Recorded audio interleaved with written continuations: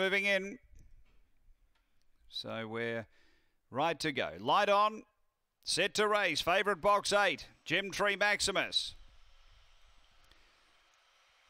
Ready and racing. Last to go, Gem Tree Maximus. Speed, Spring, Viniella, Lingaroli. They go together early. Uh, Tree Maximus along with Rosie Red were next and back on the inside. Safe drop. Up front, Spring Vinny booting through lead. Getting a check there was Rosie Red. Through to second. Safe drop the rail and then Alinga Ollie. Then Gem Tree Maximus. Spring Vinny led from Safe drop and Lingaroli. It's Spring Vinny in front. Clear. Gets it done. Spring Vinny first. Safe drop second.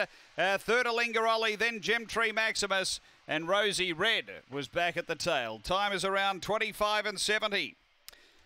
After the running of race number nine and Spring Vinny for Bob Fletcher. He was able to drive through. He grabbed the front, uh, absorbed all the pressure, and has got the prize here. Number one, uh, Spring Vinny. Second to two, safe drop for Tony Rasmussen.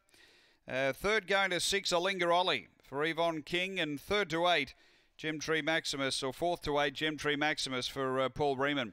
So it's one, two, six, eight runs fourth after race nine here at Murray Bridge Greyhounds.